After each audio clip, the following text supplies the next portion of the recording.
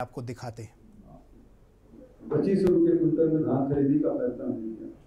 केंद्र सरकार ने रंगा लगाया तो राजीव गांधी किसान न्याय योजना में लागू कर आज 26 लाख किसानों को लगभग सात हज़ार करोड़ रुपए हर साल हम लोग इनपुट सब्सिडी दे रहे तो इस प्रकार से वहाँ के किसानों के आय में वृद्धि हुई। बताने का मतलब ये है कि हमने वहाँ कहा था कि 200 चार सौ यूनिट की बिजली आधा, जैसे कि मुकेश जी कह रहे हैं कि 125 से छब्बीस हो गया।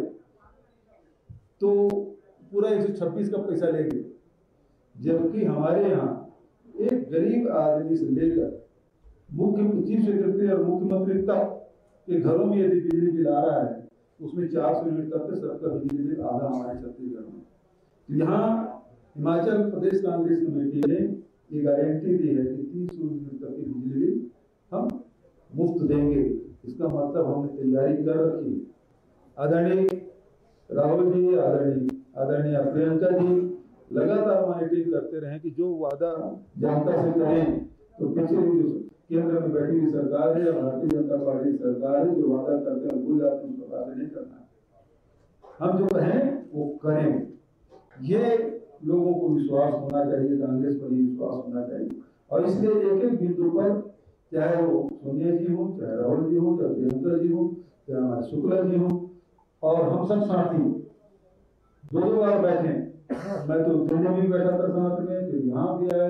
इसके पहले अभी जिस प्रकार से सुकू जी ने जो बताया कि अर्थशास्त्रियों से भी चर्चा की गई, और ये जो गारंटी जो दिए हैं, वो यहाँ की जनता की डिमांड भी है, यहाँ की आवश्यकता भी है, और यहाँ के विकास के लिए बहुत ही ज़रूरी है। और इसलिए इन सब चीज़ों की ये गारंटी दी गई है। आज केंद्र सरकार ने जो महँगाई थोपी है आम जनता पर, पूरे देश की जनता पर, चाहे पेट्रोलियम हो, डीजल हो, रसोई गैस हो, रासायनिक खाद हो, इस सब में जिस प्रकार से लोगों के जेब में पर्स में सक्षम पैसा लगा दिया है और सब खींचने में काम कर रहे हैं। हमारी सरकार है, या हमारी पार्टी है, लोगों की जेब में पैसा डालने का आय कैसे बढ़े।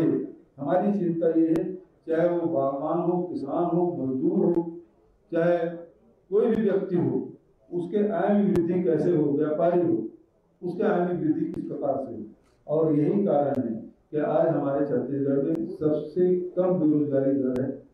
सभी वर्गों के लिए हमने योजनाएँ बनाई। मंदी का कोई असर, महँगाई का कोई असर, इतनी महँगाई है, उसके बावजूद भी हमारे बाज़ार में रौनक है। तो उसका कारण यही है कि हमारे नेता सोनिया जी और राहुल जी ने जो बात कही थी कि लोगों का आय में वृद्धि होनी चाहिए। राज्य के खजाने में सबका हक होना चाहिए। कुछ लोगों के, चुनिंदा लोगों के पास पैसा नहीं पहुँचना चाहिए, राज्य खजाने में सबका हक होना चाहिए। और इसलिए बहुत सोच समझ ये दस गारंटी हमने दिया, जिस प्रकार से अभी सुकुल जी ने जो बात कही कि गोबर खरीदने की योजना। ये तो गाय गाय के नाम से वोट मांगने वाले लोग हैं भाजपा के। लेकिन गाय की सेवा कभी नहीं की। मवेशियों की सेवा कभी नहीं की। हम लोगों ने की। और उसकी शुरुआत छत्तीसगढ़ में। आपने देखा किस प्रकार से दो रुपये किलो में गोबर खरीदने की व्यवस्था थी गोबर से हम गो काट भी बना रहे हैं, वर्मी कंपोस्ट बना रहे हैं, गमला बना रहे हैं, दिया बना रहे हैं।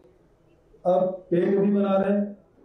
हमारे रायपुर नगर के उसका बिल्डिंग सबसे पहले पेंटिंग हुई थी जो कार्यालय है। अब उसे सारे कार्यालयों में प्राकृतिक पेंट है उससे हम करवाएँगे। तो लोगों को रोज़गार कैसे मिले, ये सारी योजनाएँ हमारे पास अब तो बिजली उत्पादन भी गोबर से कर रहे हैं। भाभा रिसर्च सेंटर से हमारा एमयू हो चुका है।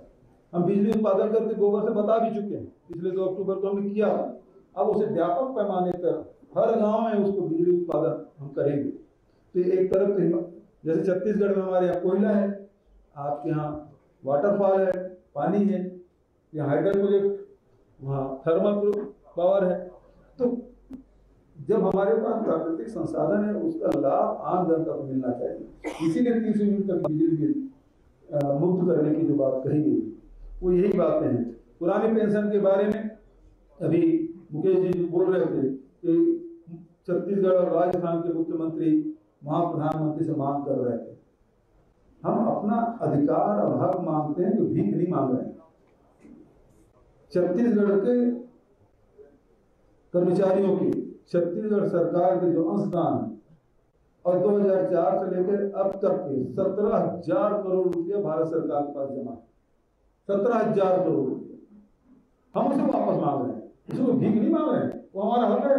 हमारा पैसा है, हमारे श्रमिकों का पैसा है, हमारे कर्मचारियों का पैसा है, उसको हम मांग रहे हैं। और नहीं देते तो हमको लेना भी आता। और लेंगे अब राजस्थान सरकार, छत्तीसगढ़ सरकार, झारखंड, बहुत सारे राज्य हैं इस प्रकार से प्रस्ताव पारित किए हैं। और एक कर्मचारियों को पैसा है एग्रीमेंट हुआ है, और उसके आधार पर हम लोग ले लेंगे, ये बात को मैं विश्वास दिलाता हूँ।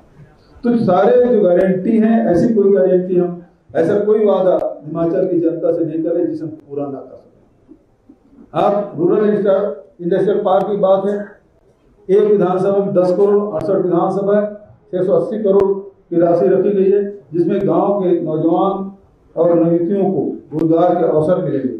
जो पाँच लाख रोज़गार पाएगा, ये जो है उसकी सप्लीमेंट्री के रूप में आप इसको देख सकते हैं कि हमारे पास योजनाएँ हैं, कार्यक्रम हैं, नीतियाँ हैं, और उन नीतियों का कार्यक्रमों के आधार पर जनता के बीच में हम जा रहे हैं और विश्वास दिलाते हैं कि सारी योजनाएँ जो आम जनता से हमने किया था स्वास्थ्य योजना राजस्थान में सबसे बढ़िया चल रहा है।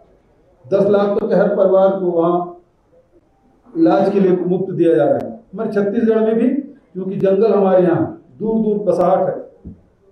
आपके यहाँ पहाड़ ज़्यादा है, हमारे पहाड़ कम है, लेकिन जंगल है। चौवालीस परसेंट हमारे यहाँ भी जंगल है। दूर दूर निवास करते हैं। हमने हाट बाज़ार क्लिनिक योजना शुरू की। वो गाँव में जाते हैं और वहाँ पूरे डॉक्टर, स्टाफ, पूरा नर्स और दवाइयाँ सब मुफ़्त वो सब चालीस प्रकार की जाँच हम करा रहे हैं। तो सब प्रकार की जाँच और फिर श्री धनवंतरी योजना हमने लागू की, जो 50 से बहत्तर प्रतिशत तक के जो दवाई, ब्रांडेड कंपनियों की दवाइयाँ हैं, वो सस्ती मिल रही हैं। लाखों लोग उसका लाभ उठा रहे हैं। तो इस प्रकार से सस्ता मत इलाज भी, रोज़गार के भी, शिक्षा, आज शिक्षा के क्षेत्र में दिल्ली वाले बहुत अल्लाह करते हैं। आइए छत्तीसगढ़ हम दिखाते हैं। हमने दो सौ उन्यासी स्कूल हमने शुरू किया। चार सौ स्कूल और अंग्रेज़ी माध्यम स्कूल खोलने वाले हैं। दो सौ उन्यासी हमारा रन कर रहा है। और गरीब से गरीब परिवार के बच्चे, किसान के बच्चे, मध्यम श्रेणी के बच्चे, सब लोग, सबको मुफ़्त में उसकी शिक्षा की व्यवस्था की जा रही है। तो अवसर हम प्रदान कर रहे हैं हमारे ननिहाल के बच्चों को, ताकि वो ज़्यादा अच्छे से पढ़ाई कर सकें अवसर प्रदान कर रहे हैं। तो जो काम हम, हमारे कांग्रेस शासित राज्यों में या राजस्थान या छत्तीसगढ़ में जो हम लोगों ने किया है वही हिमाचल की जनता को विश्वास दिला रहे हैं। हम ये योजनाएँ हमारे यहाँ ऑलरेडी चल रही है। हम यहाँ भी चलाएँगे। जब वहाँ व्यवस्था कर लिए तो यहाँ भी व्यवस्था होगी। और इससे अछूता हम हिमाचल की जनता को नहीं रखना चाहते। यही सब बातें हैं जिसे आज दस गारंटी आज आदरणीय शुक्ला जी, आदरणीय वाजवा जी की उपस्थिति में आदरणीय प्रतिभा जी, आदरणीय मुकेश जी और आदरणीय सुखू जी, धनीराम जी, बिट्टू जी, संजय जी सब की उपस्थिति में आपके सामने जो गारंटी दिए हैं, हम सब आपको विश्वास दिलाते हैं इस गारंटी को हम पूरा करेंगे, हर हालत में पूरा करेंगे। इन्हीं शब्दों के साथ मैं अपनी बात समाप्त करता हूँ।